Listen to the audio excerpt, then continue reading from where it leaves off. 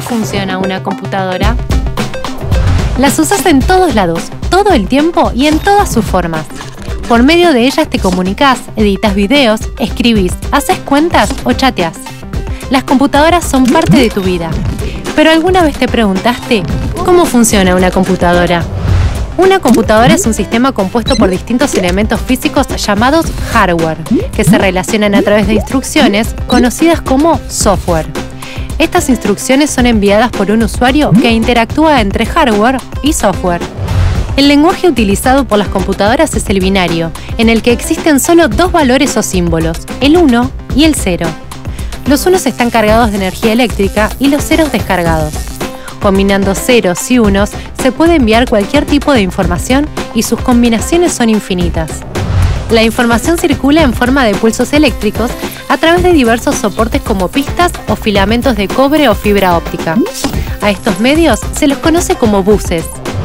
En el interior, las computadoras usan buses para enviar y recibir información e instrucciones entre sus partes, como la memoria, el microprocesador, el disco duro y todo lo que conectemos, como una impresora, por ejemplo. Una de las partes que tenés que conocer para saber cómo funciona una computadora es su cerebro, conocido como CPU. Su función es ejecutar las aplicaciones y coordinar los diversos dispositivos. Su velocidad de trabajo se mide en megahercios. Este número define cuántas veces en un segundo puede procesar instrucciones. Por ejemplo, 1000 MHz en un segundo. El procesador requiere un lugar para almacenar los datos. Estos lugares son el disco rígido y la memoria RAM. La memoria RAM o memoria de acceso aleatorio es una memoria volátil ya que pierde la información cuando deja de recibir energía. Además de la RAM, existe la memoria ROM. Es de solo lectura y permite la lectura de datos sin poder editarlos o modificarlos. La ROM entonces no depende de la energía.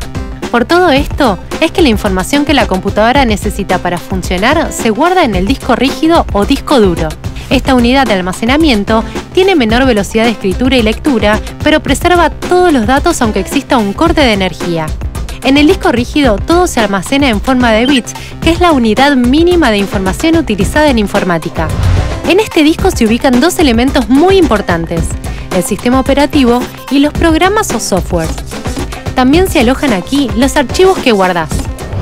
Una función muy importante que tienen las computadoras es la de poder comunicarse entre ellas para intercambiar información. Para esto, utilizan una placa de red. Todas estas partes se relacionan dentro de la computadora por medio de una placa madre. La placa madre es el circuito que permite vincular todos los elementos. Además de los dispositivos internos, a la placa madre también llegan los dispositivos externos, como mouse, teclado o impresora, que utilizás para ingresar y obtener información por medio de los buses. Así, las tarjetas de video, por ejemplo, convierte los bits en imágenes y sonidos. Ahora bien, ¿cómo hace un usuario para conectarse con la computadora y para utilizarla? Esto sucede por medio de algo conocido como interfaz de usuario del sistema operativo. Esta interfaz es justamente lo que te permite interactuar con el sistema del equipo, sus aplicaciones, programas, información y recursos. Desde ahora, cada vez que uses tu computadora, ya sabes lo que pasa en su interior y cómo hace todo lo que le ordenas que haga.